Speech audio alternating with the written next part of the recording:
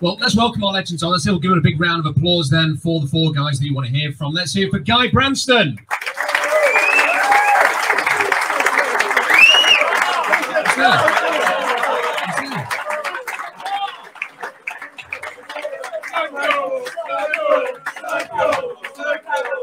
Okay, Brano's here. Let's have a round of applause as well for Mark Todd.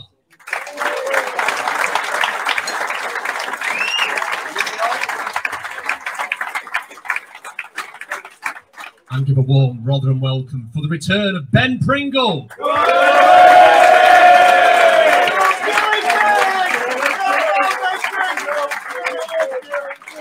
And a final round of applause for John Breckin.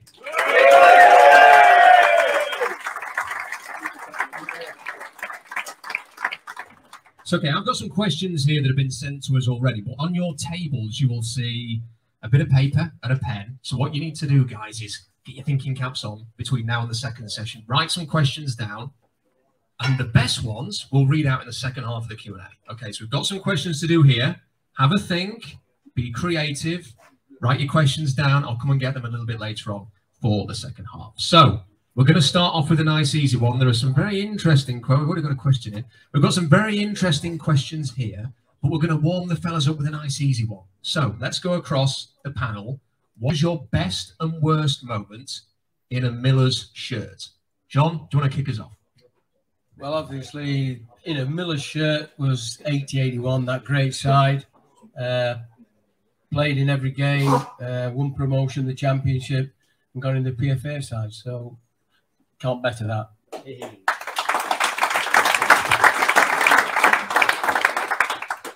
Uh, I think the best moment for myself would would obviously be the. To be fair, the, the whole four years was was too good, but definitely the back to back promotions and obviously finishing at Wembley that was by far the best moment. Um, worst with Steve Evans is literally too many to mention.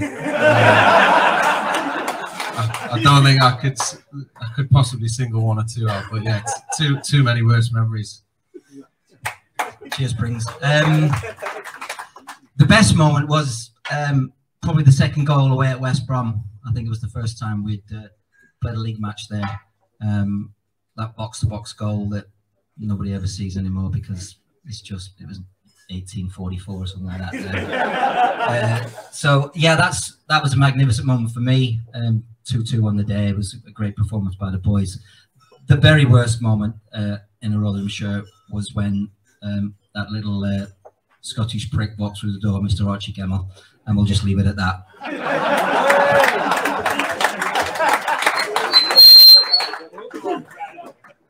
Uh, best time for me was uh, Masons on the Sunday.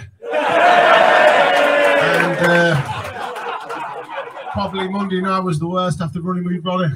So yeah, it's uh, no, honestly, it was. Um, I think the first two years obviously back to backs, and then the second two years was, was quite tough. But again, like Prince says, four years still turning up now at this sort of age, talking about the Rotherham years, which is always baffling me can't the way up. But thank you, I appreciate being here. So. Okay, good answers. Um, second kind of warm-up question, really. Uh, who's the best and worst manager that you ever played for?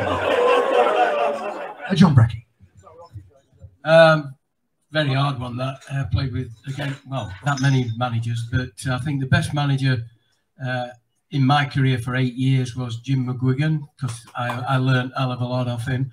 But the best manager by far, the best manager by far was Ian Porterfield. That one year was unbelievable.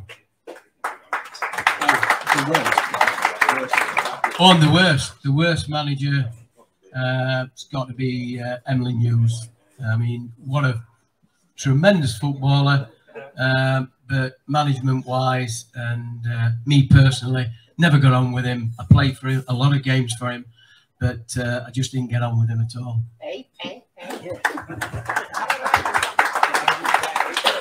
Uh, I think for me, first and foremost, was uh, Andy Scott. Um, everyone obviously knows we clearly didn't get along. Um, and the best and the worst is obviously the big man, Steve Evans, for many reasons, for both.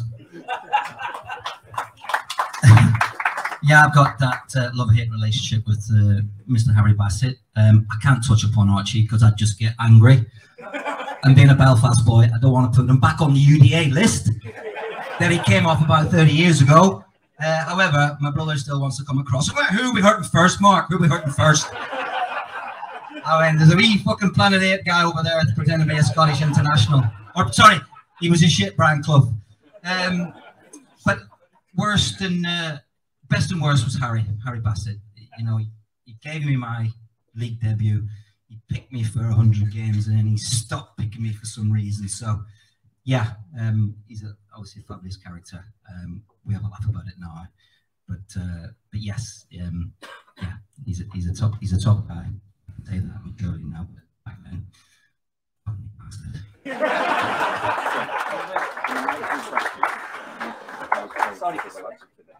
Uh, actually, probably now I had about 55 fucking managers. and uh, there's not many good ones, so it's going to be a long fucking night, isn't it? Um, obviously, Ronnie's here, so I've got to say top five for Ronnie, haven't I? But I mean that genuinely, he's a, he's a fucking great guy. I just give him a big hug there. He struggled dogging me because he can't twist his neck, but he's a fucking great guy. How is it? He's behind me again, is it? Listen, you know I've got a lot of fun. Uh, I'd say top three, mate, if I'm honest, you are. But Martin O'Neill was unbelievable. Um, amazing guy to work with. A young kid growing up, learning about football, learning about what it's about, management, and being around him on a daily basis is unbelievable. And then obviously Ronnie came and saved my life. Like I hugged you twice already, mate. So. Um, yeah, well, I'll probably say about ten times if I'm honest with Brett. But no, and the worst was a bloke called Tony Adams. Uh, I, had, I had 10 minutes with him at Wycombe. Uh, amazing. Like I said about, you know, true true players coming into management straight away thinking they know it all and they were miles off it. I, I was amazed by how bad he was. But that's my uh, worst. It was, it was really bad. I think uh, just on that one, the guy, uh, me and Ronnie, as you know, we got the sack at Rotherham, and we five days later we ended up at Oldham Athletic. We're introduced to the players. We walk into the players, and as we walk in, guy straight away goes, "I thought I got rid of you, fucking two." Uh, just a reminder, I've had a quick message that the bar is now closed while we're doing the Q&A, but it will be back open as soon as we uh, finish the Q&A. Right, let's have some of the questions that you have sent in. Uh, this is from Anonymous, and some of these are anonymous. I'm not sure why, but anyway. Uh, this is from John. Uh, this is for John. Uh, after spending many a moment in the changing rooms over the years, uh, which players had the biggest ego? little bit awkward that, but no, I think at Rotherham, I think it's a club, and it, it is now. I know it is now. I don't think we've had the big egos and the big time Charlies. Uh, certainly not. It's uh, a well-run club from that point of view. I, I go back to uh, Emlyn Hughes were different. He were a different breed. He played for England uh, how many times? He were an unbelievable player, Emlyn. Uh, he breezed in after Ian Porterfield, a big, big name, but uh, a big disappointment for me. Uh, we had the year which was a successful year. We were third bottom, and uh, we went them eight games in Feb- February, which was an unbelievable February. And uh, you know, we went to third top, but it just fell away after that. Hardly in the club. We hardly trained. Um, you know, it suited some players, but not for me. Um, so for me, and he had a big ego, believe me, what he'd done and you know who he'd played with, and he used to let us know that. So for me, Emlyn, but uh, as other players, no, I've not really come across many at Rotherham. Um, oh, sorry. That was just a question for you, John. We've got a slightly different question for Ben. Okay, here we go. This is from Rich. Can you talk about the time that Evan shut himself?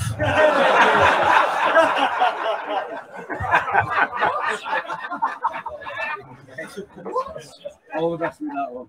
I thought this would come out a little bit later, to be honest. It's, uh, it's quite early doors. But yeah, I can uh, I can talk about it. Um, so we were going to an away game. Um, I'm not sure where it was, um, and obviously on the bus it's quite dark. It was travelling overnight, so um, there's obviously the toilet on there, which is quite small. Um, and the manager Steve's gone in there, um, and he's gone in for about They're back on. Yeah. So he's uh, he's gone into the toilet. I've I've gone down to go to the toilet. He's still in there. Five, ten minutes, 15, 20, 25 minutes have gone by. He's in there for a long time, basically. Um, obviously, on an away game, it's uh, it's quite dark down there. So obviously, I was the next person in after Steve Evans, um, and obviously the light didn't work when I went in there. Um, so I've gone down the stairs. The door's kind of shut behind me. Um, the light's not on, so it's pitch black. Just got my torch out from my phone, so I can see what I'm doing and stuff. Um, anyways, I've come out of the come out of the and uh, I've put the door back and looked up, and I seen Joe Skarz and Richie Smallwood. Their faces were just staring in complete and utter disbelief. Um, the light, funnily enough, came on when I was leaving uh, the toilet, not as I was going in. So I've kind of looked against the toilet door, and there's there's just shit all down the toilet toilet door into the the toilet. There's just shit there. Um, we had a tracksuit at the time which had like white stripes kind of going down the tracksuit bottom. Yeah, the shit was on my tracksuit bottoms. Um, so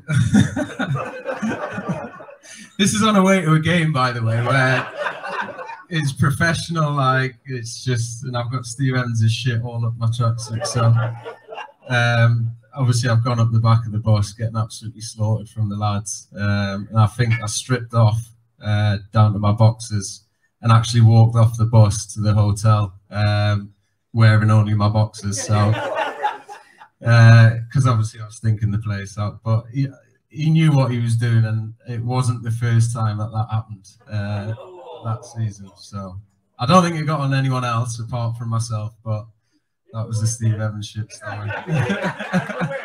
uh, we drew 3 3 against Preston, I think it was. So, but wasn't the first time, like I said. Oh, that's quite an interesting uh, motivational technique there from the manager. Um, Mark, an anonymous one here. It says, "Who was the biggest star in the changing room when you were at Man United?" Uh, lots of big, big players there. 1984, when I arrived as a naive wee virgin from Belfast. Um, uh, looking back, it had to be Brian Robson. He ran the bleeding club, let alone the, the dressing room. He was England captain, Man United captain. He was an unbelievable professional. Um, and the, the, drinking school is, is was real, um, but he was the only one that really ran through it, uh, so to speak. Um, but he was phenomenal as a, as a bunch of apprentices looking up to Robbo, particularly me as a centre mid and a, uh, an aspiring centre mid he was he was just phenomenal. He could do absolutely everything. Um, with and without the ball, he was intimidating. He was his people realize how good a, good of, good of a passer he was. I mean, um, particularly off just left foot, but he scored some wonderful goals. Um, but he was very very generous. If you remember at the time, he was he was the first player to be sponsored by New Balance, um, and periodically he'd be bringing in this, these boxes and boxes of t-shirts and just chucking them into the youth team dressing room and saying, "Here you go, boys," on behalf of, of New Balance. So, you know, behind the uh, behind the steel and the, the performances, as, as they call them, Captain Captain Marvel, he was a, a, a brilliant role model for us, certainly for me. Like I say, aspiring midfield player. So, yeah, Robbo ran the club. you know, and it was uh, it's brilliant looking back now and uh, having had those three years there and that great education I had that kind of set me up for the, the next 10 years in footy.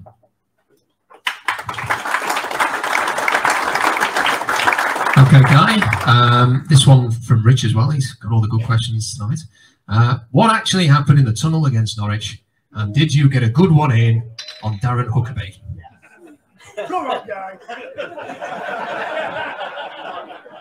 He's only come for this one. He's only got here for this one. No, it was uh, told, I think I've told the story a few times, but it was Ronnie's fault. Um, I backed him up as normal, put my arm on my sleeve to run it, like I always did. and uh, ended up fucked as normal. So uh, no, we ended up off the pitch arguing, and Huckerby obviously was running the show. Unbelievable player, by the way, phenomenal. Shouldn't have been playing in the championship. I think we all agree on that. Um, again, it was you know we were up against it. We always were.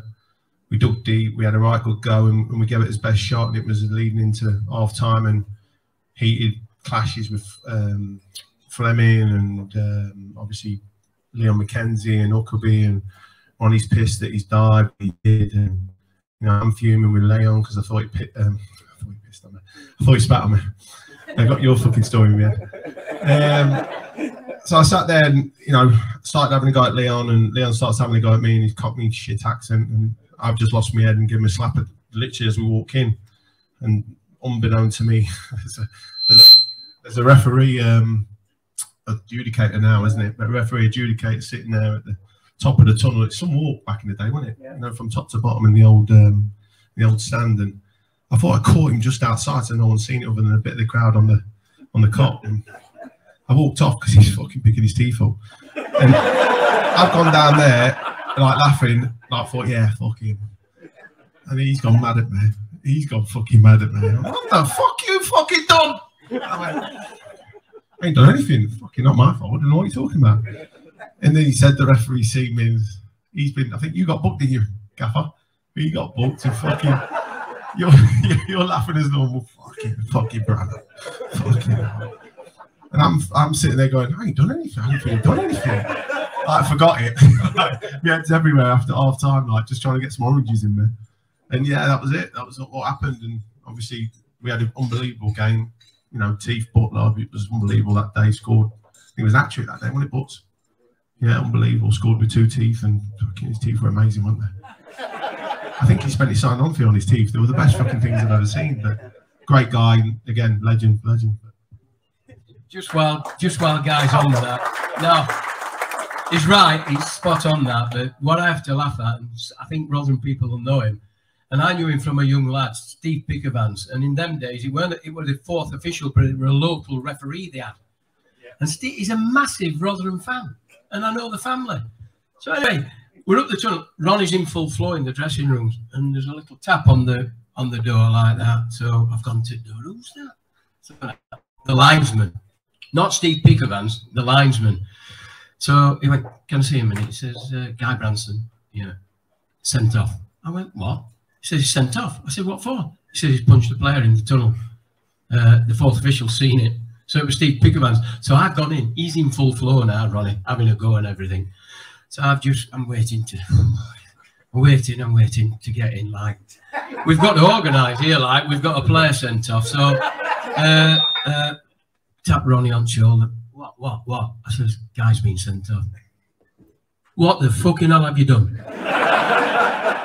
and Guy, straight away, done no, done nothing. And that's the story. Unbelievable.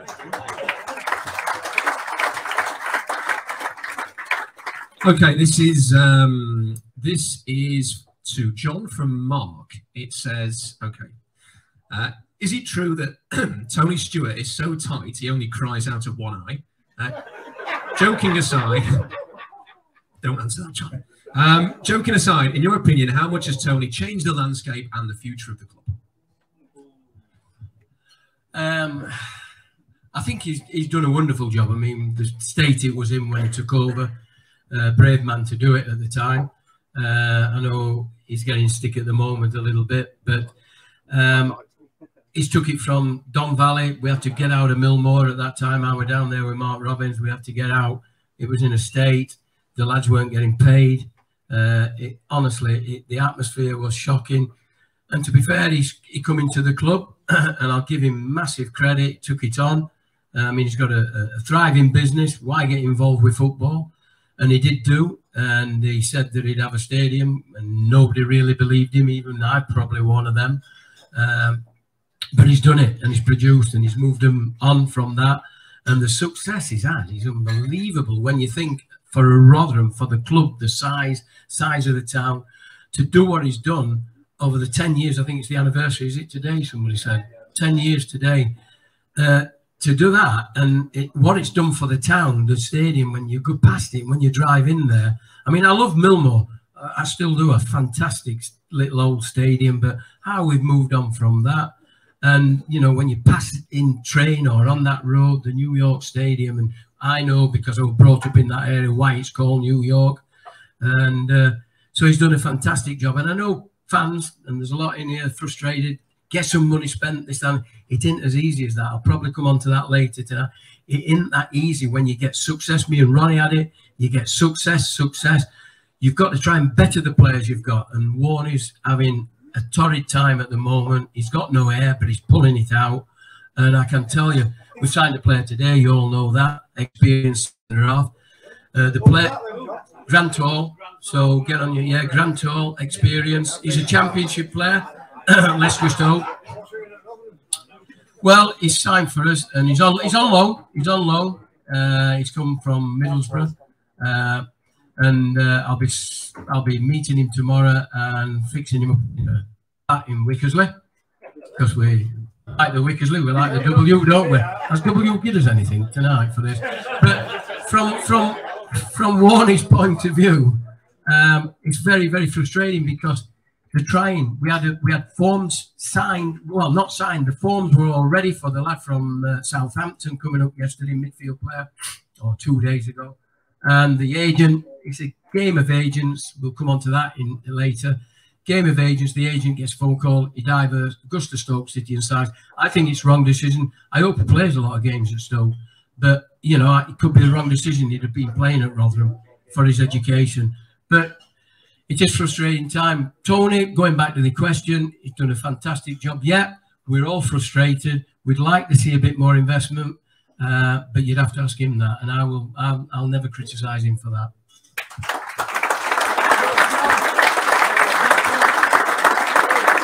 Okay, uh, JB's got another question here. This one is for Toddy and Brex. Uh, the only ones old enough to answer. Ha ha ha, it says. Uh, so there we go. Uh, how much has the game changed in 50 years in terms, in terms of skill, technology, and fitness?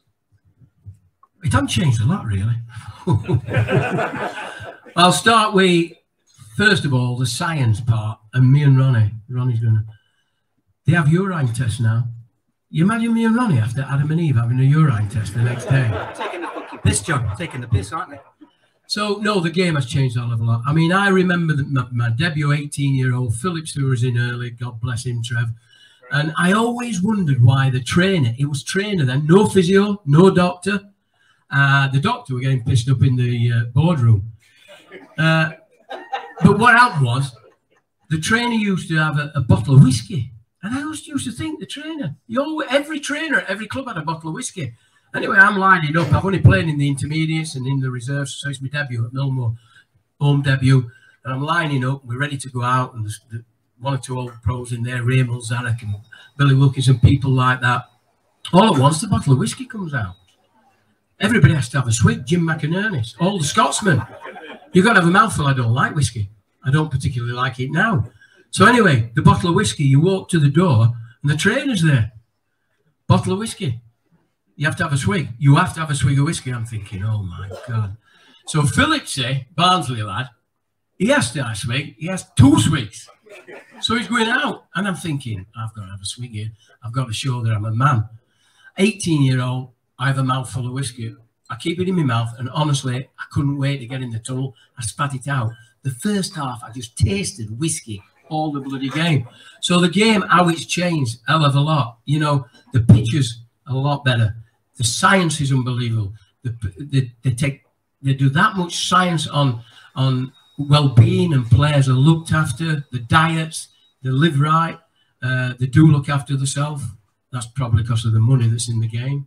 Um, and I, I, just think it has moved on a lot. And I could talk all night about how it has moved on. And uh, you know, but I think mainly the you know now players go down injured. They go down. They have a they have a bottle. Uh, they have bottles of water on the side of the pitch. They have a break now for water. Ronnie will tell you you weren't allowed it. If you went in the dressing rooms at half time, the trainer would walk in. Hey, you can't have a drink of water, son. It gives you stomach cramps. You wouldn't be allowed to have water, but you'd have a mouthful of whiskey before the game. so And we've all, but we've all heard the story. Just before I pass it on to Tony, Jim McGuigan come out with it. He says, "I, we've all, we've all heard of the old days. Centre forward, we're shorter at centre forward. We go to the pit top, we're shorter at centre forward." And then Ed would come up, "I'll play." Anyway, finish his shift, and he'd be on his way at Millmoor, and he'd call in Moulders, and he'd call in Millmoor, and he'd have three pints, and he'd go out, and he scored that trick. And Jimmy Gwynn went, but what the fucking didn't tell you?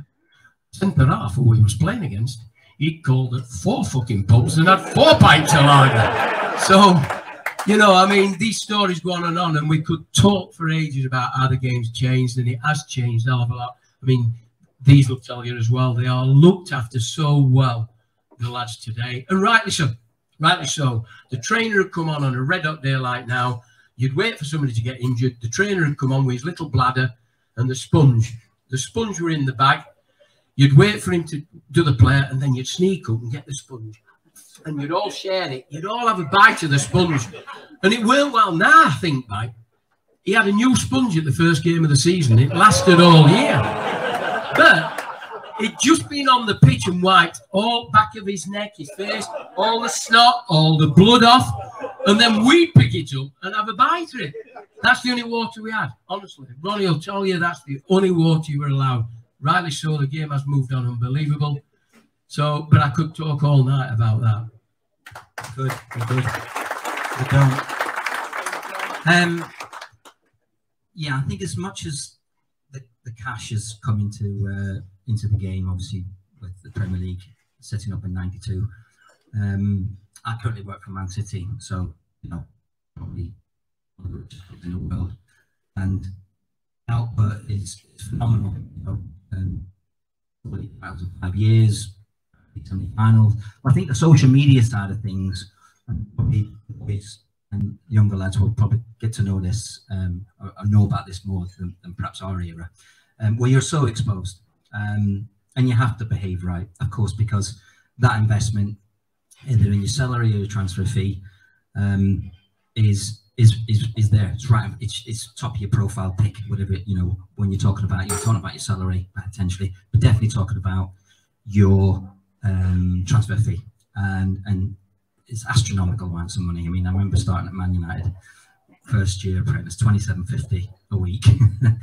but you know, these days you're 16, you're 17, you're 18 year olds signing long term contracts at the big clubs for thousands a week, you know, and it's um, and those guys probably at that point deserve it.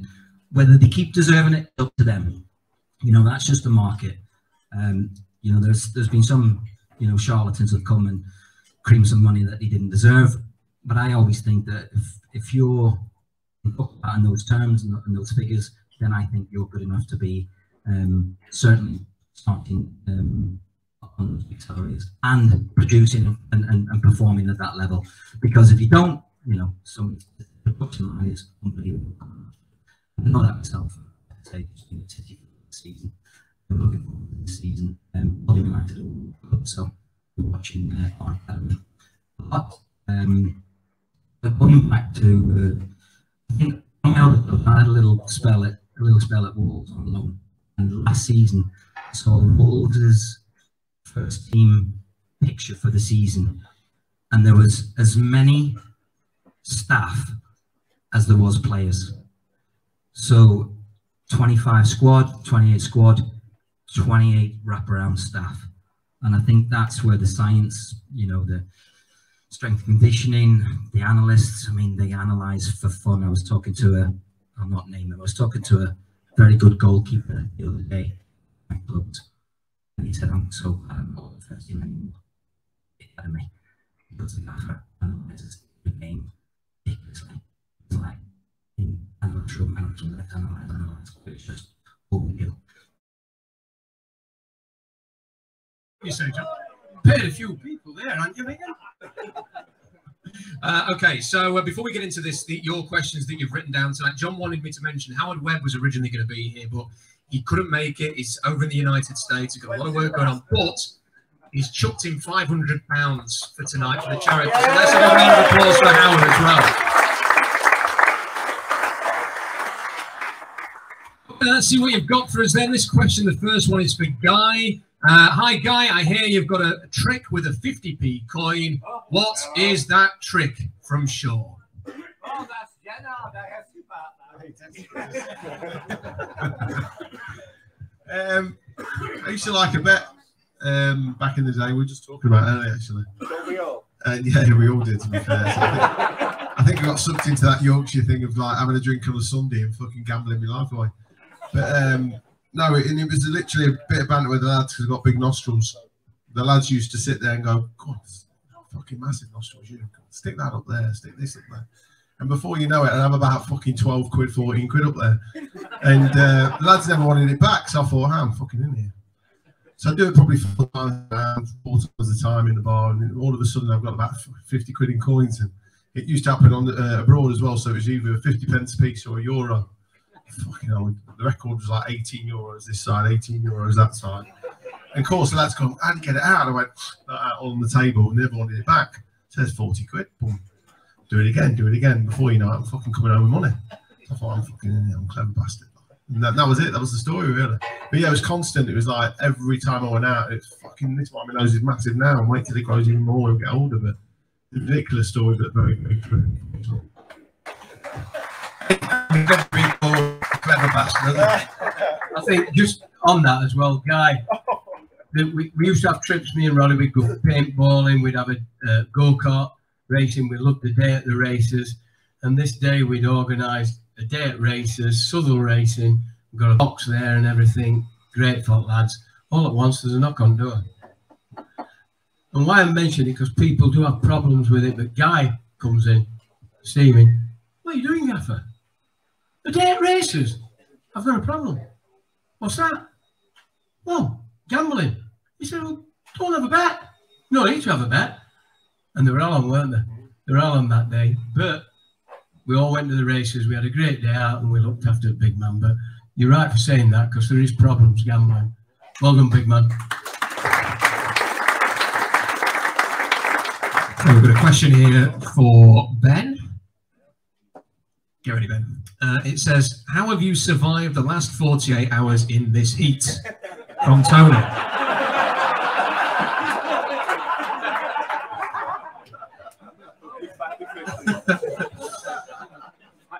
Factor 70, I think, indoors and in the shade. Um, yeah, someone just said to me there, to be fair, I swear I used to be blonde, so I look a lot different now than what I did back then, put it that way. Uh, but yeah, fuck me, some of the hair that I used to use in my uh, in my Rotherham days, it just I didn't look well, put it that way. Some others are just like the chance to use that hair now. Um, this one's for Breck from Robbie. It says, Breck, can you give us an honest opinion on the Dexter Blackstock signing? Well, I'll be honest. Um, I, I weren't involved, but uh, um, just tell you a story. When Warney asked me to just help him out, because obviously he didn't know whether he wanted the job.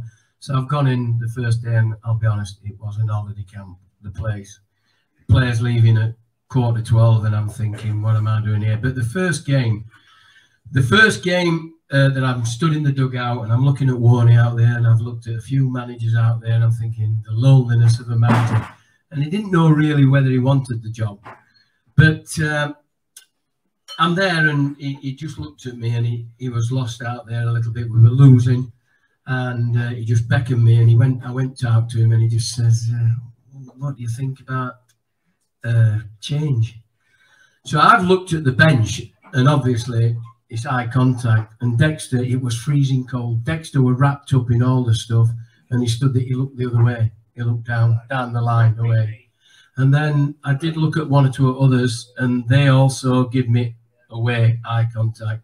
And I'll be honest, and Warney will tell you, I went out tapped him. I said, Warney, just get on with it and let's see it out because they aren't going to help you.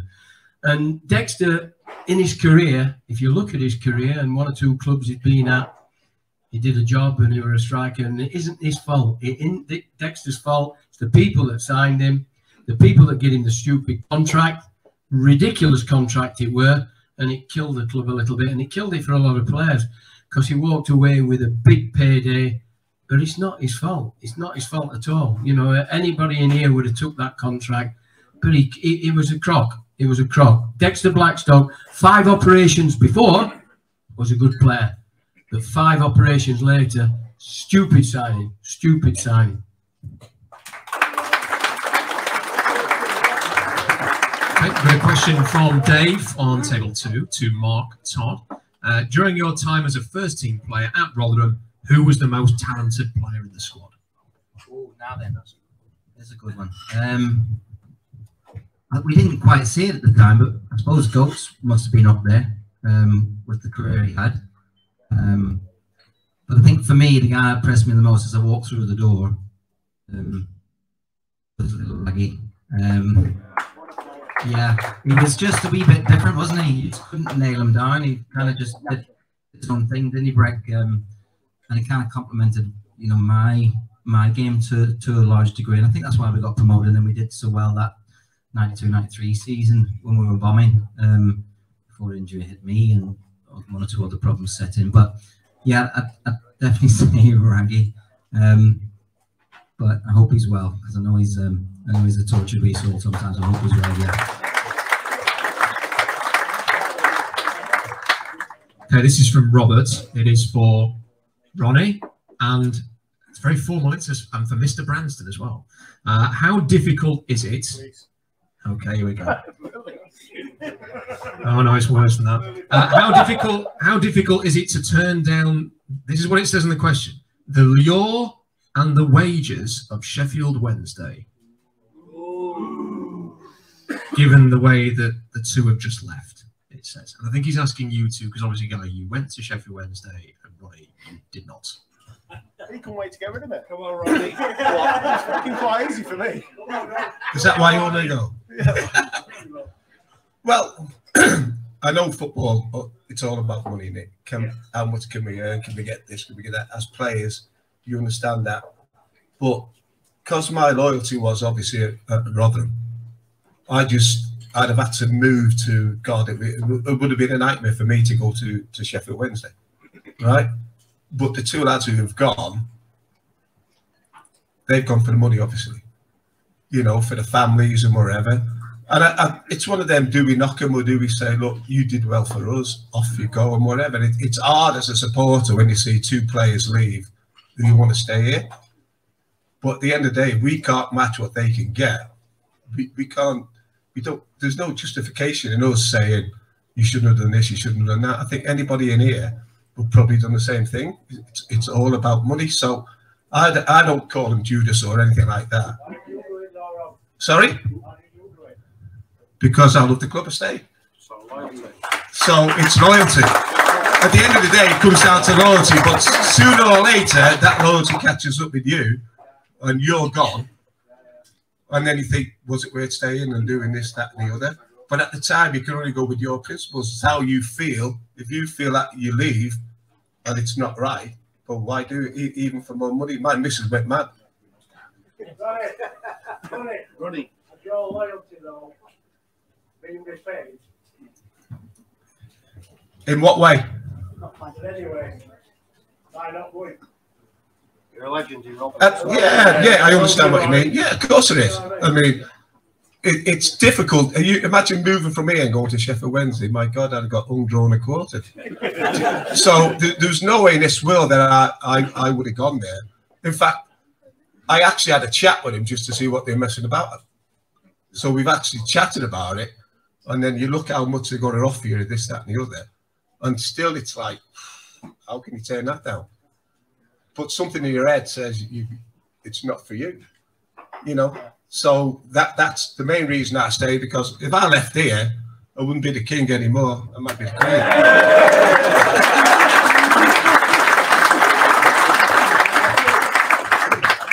Why are you passing it me now? Oh, Fucking yeah. And now the queen.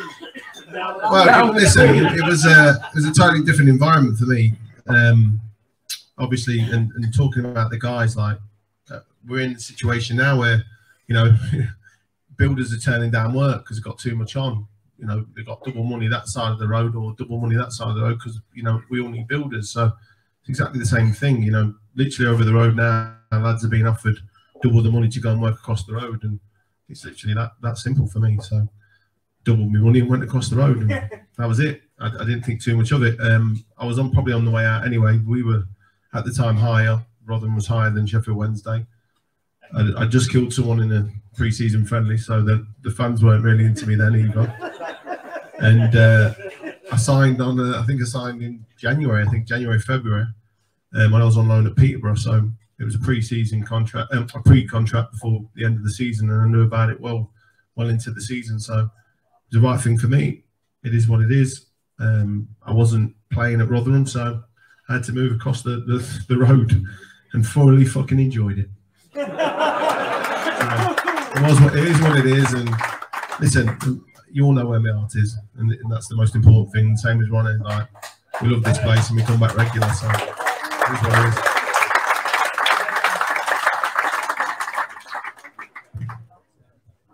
The next question is for all of you. Uh, what would you say uh, are the best parts of being a professional footballer? Uh, well, even today, I mean, the difference in the 50 odd years or so, it's just great to be involved in something that you love and earn a living from. Even back in my day, I mean, Toddy said he on 27 quid a week at Man United. At, uh, at Rotherham, yeah, at Man United. But my first wage were five pound a week. I don't know what Ronnie's were at Tranmere, but you know, just to to play and for me, play for your hometown, even you know, come through Rotherham boys and then juniors and the reserves and playing the first team, and still to be involved to this day a little bit, uh, doing little bits at the club. It's just a fantastic sport to be in. For me personally, I played other sports, but football, it's the family. I've got a footballing family, and uh, I was just a five-year-old took to Millmoor with my dad, and that's it. Uh, so for me, football is just a great way to earn a living. Even back in the days when we used to bite the sponge for a, a, a mouthful of water.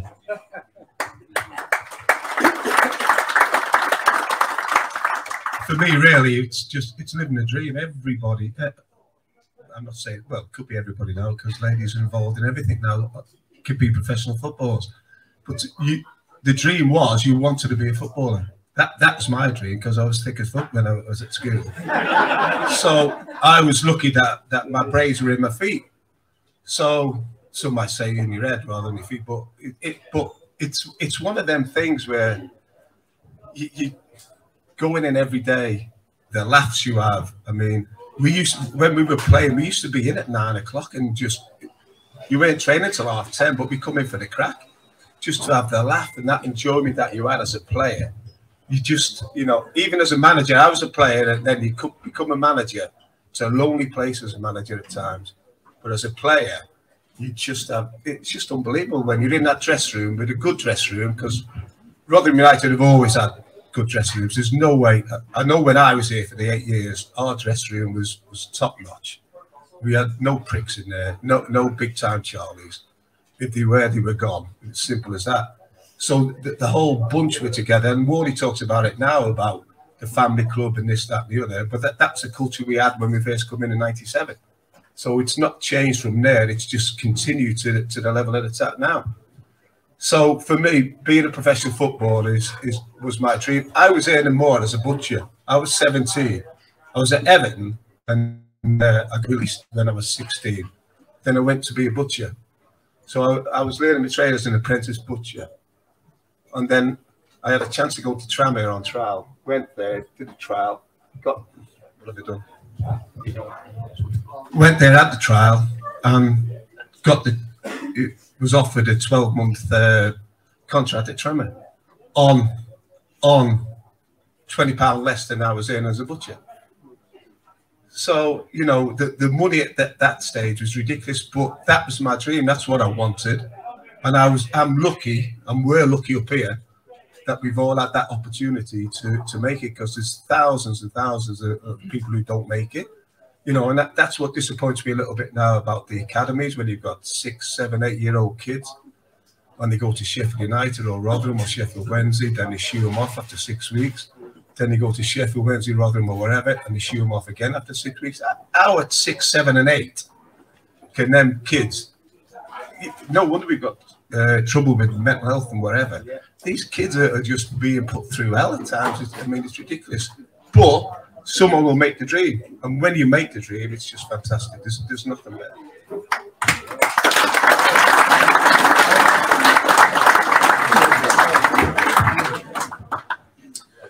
Yeah, I think exactly what Ronnie says. It's first starts with you know just wanting to be a footballer. That's that's the first thing you think of when you're young. It's a, it's a dream, and I've been lucky enough, you know, to play at some great stadiums, great against great players, against great teams, and and like I say, that's what you you think about growing up. Um, I think certainly come towards the back end of my career now, um, and and seeing the younger lads and stuff, you know, that they haven't had the opportunities that I've had, but I think it's just for me, it was always coming in every day, just playing football and not having to worry kind of about any other job or any other thing. You just focused on your football. You come in in the morning and, like the lads say, it's for me. It was always a banter thing. So, and that's like I miss it now, and I'm still playing. As weird as it sounds, that's the thing that I'll I'll miss the most. Definitely is the banter and getting in with the lads and yeah, I think that that those are the two main things for me, especially at Rotherham. That was obviously the, probably the best time of my career. Um, I split up with my ex missus at the time. I was going out in Viper rooms four times a week and and getting back to back promotions with Rotherham. So Big Steve telling me to go out every other day. So couldn't go wrong in my eyes. Um, so yeah, that's. that's the science behind my success at Rotherham.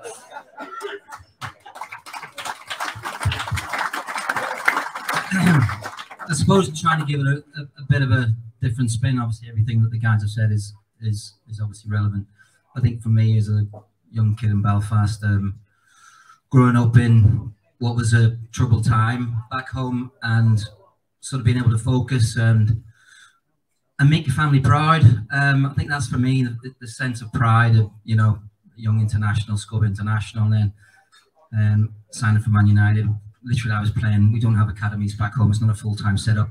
I literally went from playing for my dad's youth club team to signing for Man United. So the sense of pride and seeing your mom's wee face, and you know when they come over and you do the signing, she made a beautiful Ulster fry for everybody. So for me, that's exactly how it how it makes me feel. It still makes me feel now. Seeing my mum and dad's face, you know, just that sense of that real sense of achievement for me. I've always described it as climbing the mountain and and, and putting the putting the flag in the top of that mountain because I played I, I, have played in every division, every all all eight divisions from one to into uh, into Unibond. So I've played in all eight divisions. So I've experienced, you know, the highs and the lows that football can give you. And the guys will obviously know better than most the, the highs and the lows and trying to get the kids these days to balance that against the expectations around them. Ronnie's just talking about academies. The expectation when you do go in at six, seven, eight, it's ridiculous. You know, mum and dad have already spent the cash. So it's trying to balance that. And my current role with, with City, again, is trying to find not so much the cream on top of the, the sponge, actually the sprinkles on top of the, the top of the cream. So we're, we're looking at the very top and that comes with great, again, great expectations and having to manage that um, that pressure. And the big man will know about it in his his role as an agent now, and obviously working for Leicester City. It's it's a, it's a very very difficult. I know it's you we all know we're privileged, but we did it because we're good at it. And I always say to my two, my boy and girl, it's all right having a passion, but for God's sake, make sure you're very you're good at your passion. You know, so it's it's for me again, um, without repeating too much, just seeing my wee mum's face, God rest her, um, and being able to turn up and, and and see, you know, the love in the room for Rotherham United, for ex-players, for legends. For me, that's I'll drive home tonight with another big smile on my face, knowing that the football family, which is why I set up my wee project, the football family has an effect on all of us at whatever level, whether you're a fan, a pundit, whether you're a journalist, whether you're a player, whether a chairman and owner, it all comes with the love of the game. So that's uh, and be able to be doing that still 40 years on is what makes football magic for me.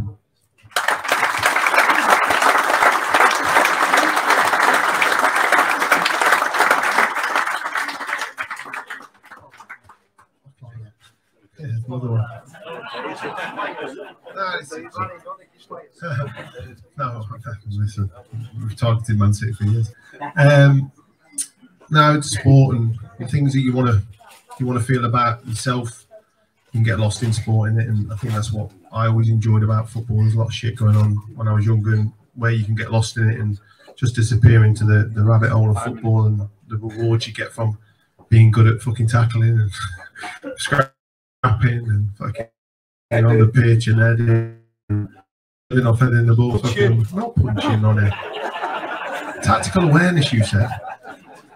Um, but no, but look, it is. Yeah, it is what it is, and I, I'm I'm amazed by football and, and, how much it gives back to the, the community. But just going back to what obviously Tony just said there, my missus hates me going out at night, leaving home with the kids.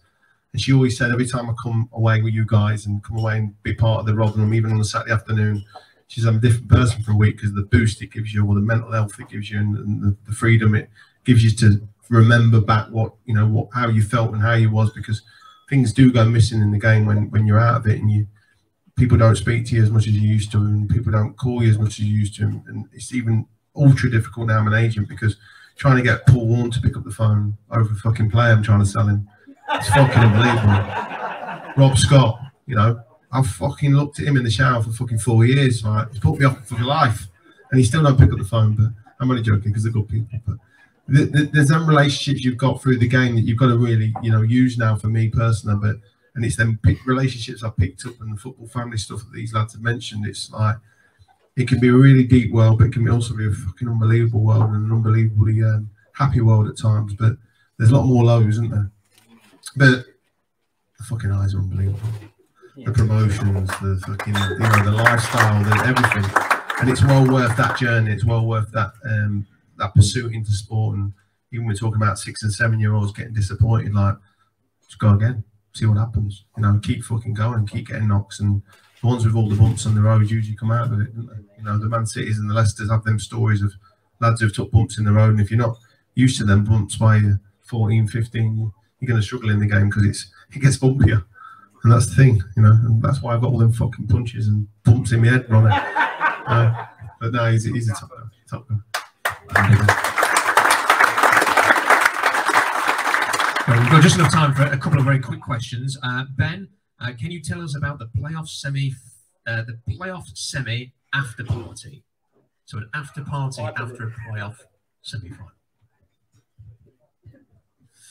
Um, yeah, it was just a standard night in Vibe Rooms, I think, for me, to be honest. Nothing that I'd not done throughout the whole of the season. Uh, think it ended up in Spearmint Rhinos for an hour or so. Um, and then I think it was me and Tom Hitchcock on top of his car just outside my house at about quarter to eight in the morning. Um, obviously, the final was about a week away, so again, probably wasn't the greatest one of my ideas, but yeah, that's that's the role that we were on at the time, so it was really enjoyable. And uh, the last question, I'm going to give this one to Ronnie Moore. Um, what does it take to be a Miller's legend? Oh, there's a test in it. Um, how do you answer that? Just give it your all. You know, uh, I, I've said it before, and often people probably fed up of hearing it, but I always had a not a dream, but a thought that I would come back. And you, you, know, when I was here as a player, I thought I'll come back as a manager one day and, and manage this club. And when it happened, it was just it was unbelievable. You know, because I'd spoke to Breck before it about coming back and, and being my assistant in here. And he'd just been with Danny Bergara, so there wasn't much difference between me and him, was there, to be fair? So, uh, what you say? What, what? you say? I don't know. What you say? Who the fuck Ronnie Moore? Chinese. I told you that. Irish, mate. Yeah, so you need a lot of luck, I think, a lot of commitment, I mean, we, we've, well, Breck's been here for, for donkeys, hasn't he? So, but I was the scouts are coming over here, and, you know, as a player, I mean, the crowd were fantastic. You know, you, you give the crowd what they want, and you, you've got to be a little bit lucky. And I think as a player, that's that's what happened. That's what we get, uh, what I gave to the club until that prick uh, George Kerr came in. Uh, with with all his reserves, some bloody Grimsby, this, that, and the other. That that's my age. If you'd have asked me before, you know, I, I don't dislike a lot of people, but he was just an absolute knob. And that, that's just my, my, my opinion about him. But to be a ledge, I suppose you've got to give your all, give your balls, give your bollocks, uh, and it helps when you've got decent players. You know, when you look when we first came in in '97, when we were trying to build a team, you know, when you look where we ended up in in 2000, you know, with, with the change round. I mean, we were unlucky probably second year when we missed out on the penalties when uh, little hasty Mr. Penn. We won't say that too often, but love to wind him up on it. But uh, and then we get people like Brownell coming in, McIntosh and Swailes and proper. Oh yeah, sorry. It, it's brilliant because when when I I used to say to Breck, I tell you what, this is tight, but I'm going to leave Brownell out today. Will you go and fucking tell him?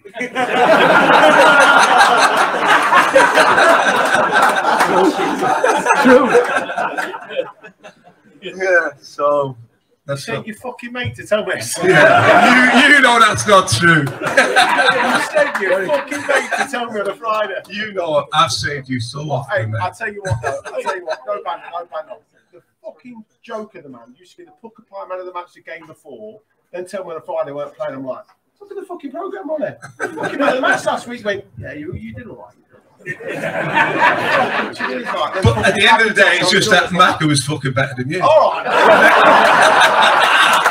Only kidding, guy. No, no. But you were unfortunate at the time that we had that many decent settlements. Yeah, we weren't bad. Sorry, am I arguing about Yeah, it was good, mate. It was fucking top job. And you're a legend, you're all right.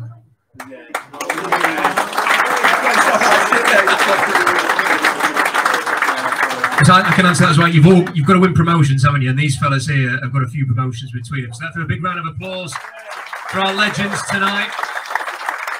And also to John, they've all given up the time to raise a bob or two this evening, and they've done a tremendous job. So give them all a massive round of applause. just just before the lads go, um, we're gonna have a little bit of fun. Ben's brought some of his match-worn boots. I hope your uh, I hope your foot size doesn't match your cup, Ben.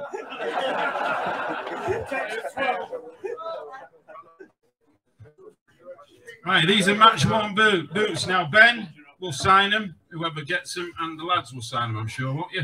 The lads, yeah, the all the lads will sign them. So, by the way, somebody I've not thanked yet, and that's Breck's daughter, Jess. Jess, come forward, take a bow. And Jess, with, with, with Jess has raised with the raffle and the signatures nine hundred and eighty pounds.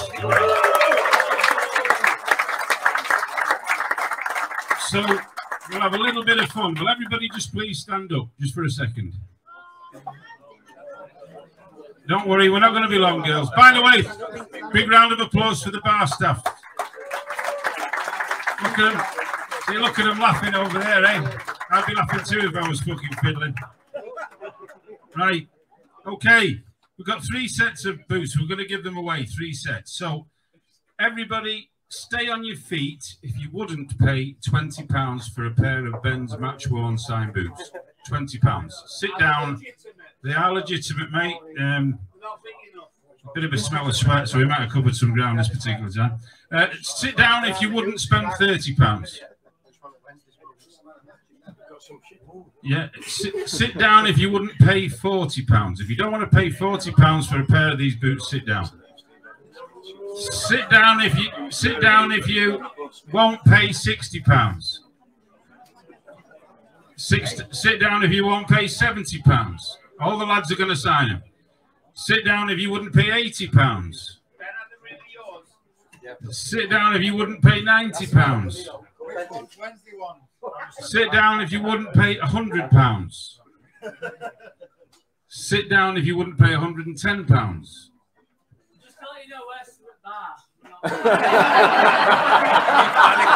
Ladies and gentlemen, we've got the fucking dingles in tonight. What are we up to? One to sit down if you wouldn't pay one twenty. How many we got left in? We've got three, three, four. We've got four gentlemen. Hmm? Oh, you're in as well, right? Well, we're up to 130, is it? 130 pounds. Sit down if you won't pay 130. Sit down if you sit down if you wouldn't pay 140. Sit down if you wouldn't pay 150. Sit down if you wouldn't pay 160. Sit down if you wouldn't pay 170. Sit down if you wouldn't pay 180. Sit down if you wouldn't pay 190.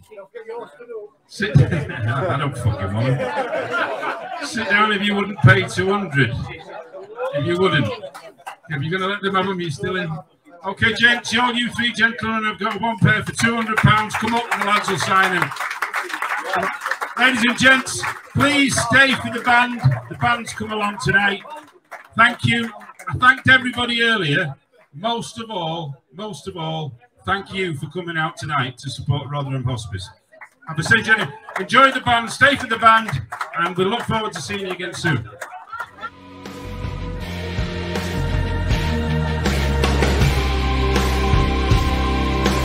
Freddy's on, on one on one. Can Freddy Freddy shoot container shot?